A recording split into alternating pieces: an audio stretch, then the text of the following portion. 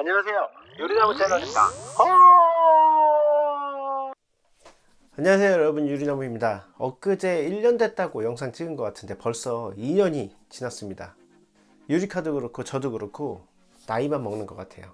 1년 전에 영상을 찍을 때 딱히 문제없이 잘 타고 있습니다. 뭐 이렇게 말씀드렸었는데 이번에는 2년 차에 느끼는 몇 가지 말씀을 드리려고 합니다 보증 수리와 관련된 이야기도 있고요 본 영상에 앞서서 아직 구독 버튼 누르지 않으셨다면 하단에 구독 버튼을 눌러서 더 많은 액션 스포츠 관련 영상을 함께 즐기시기 바랍니다.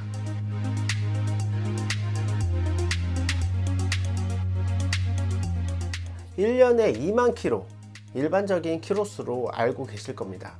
저도 그 정도 운행해서 지금 약 4만 4천 킬로 정도 됐고요. 기본 일반 장치 보증 기간인 2년 혹은 4만 킬로가 도래했다는 이야기죠.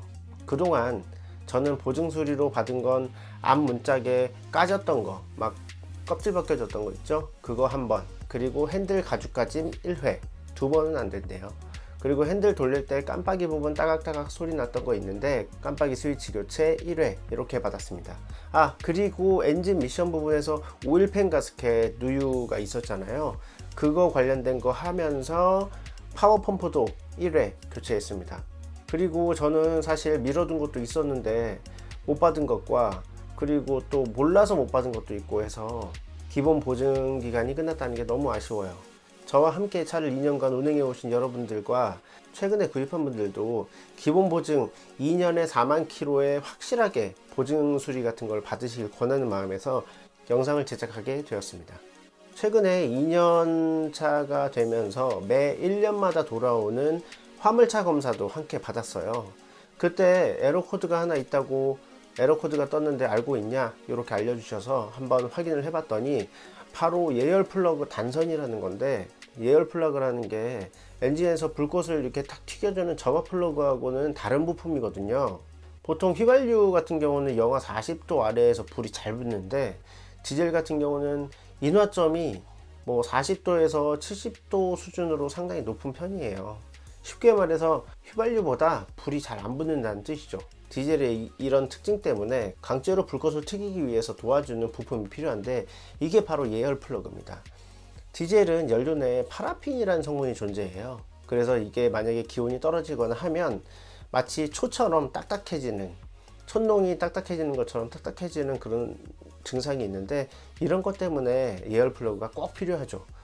그래서 예전에는 디젤차 튜닝하고 할 때 연료 필터 부분 있죠 연료의 그 수분 필터 부분을 따뜻하게 heating해 주는 이런 장치를 DIY로 그러니까 뭐 튜닝으로 그렇게 제작하기도 했었어요 하여간 이 예열 플러그라는 부품이 이번 검사 때 스캐너에 단선으로 표시가 됐었는데 이게 제가 알기로는 이렇게 쉽게 나가는 부품이 아니었거든요. 8만에서 10만 정도의 교체로 알고 있는데 동호회에서 한번 자료를 찾아봤더니 예전 방식보다는 조금 개선된 세라믹 뭐 이런 방식의 예열, 플러그라고 하는데 생각보다 단선이 상당히 많더라고요.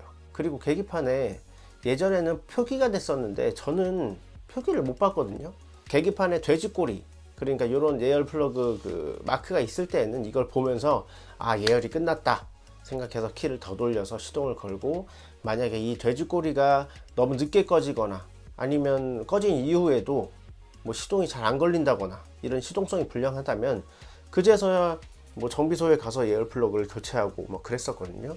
근데 스마트 키가 요즘엔 요즘 차량에는 다 달려 나오기 때문에 이런 예열 기능을 아예 그 프로그래밍 시켜가지고 그것마저도 delay해서 시동을 걸어주는 차량이 알아서 해주니까 저 역시도 이런 거 체크할 겨를이 없이 그냥 이렇게 기본 일반 보증이 끝나버린 거예요.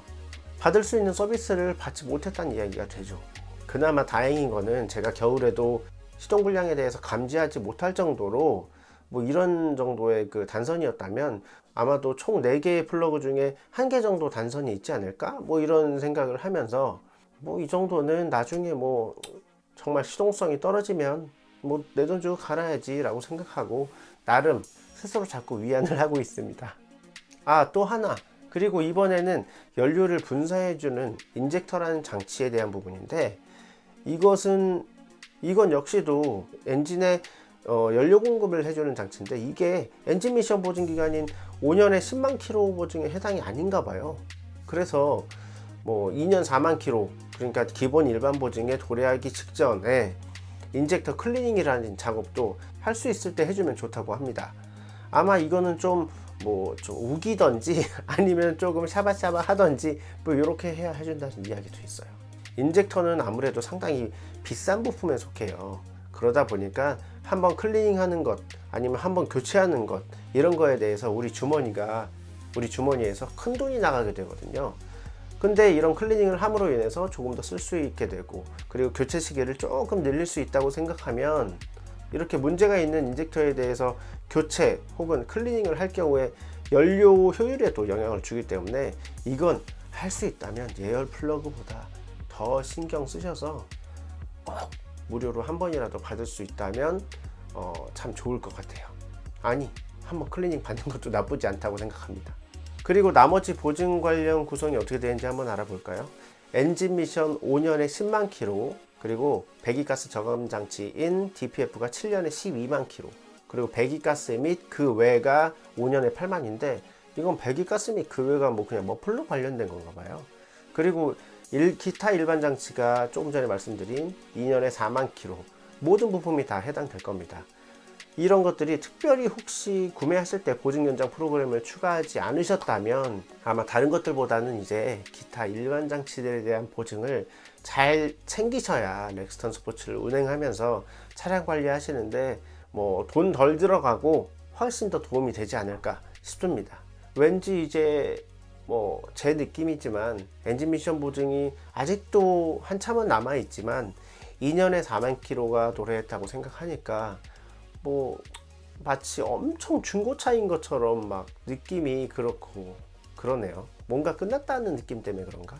저는 아직도 신차를 받을 때 그 느낌을 잊을 수 없는데 말이죠.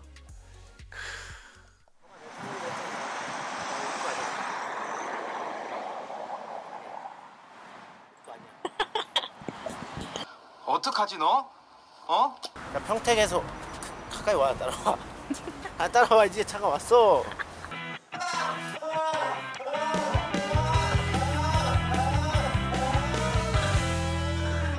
지금까지 저는 유리나무였고요. 아직도 구독, 좋아요 누르시기 전이시라면 화면에 보이시는 이 버튼들을 누르셔서 더 많은 그리고 유용한 영상들 챙겨가시기 바라겠습니다.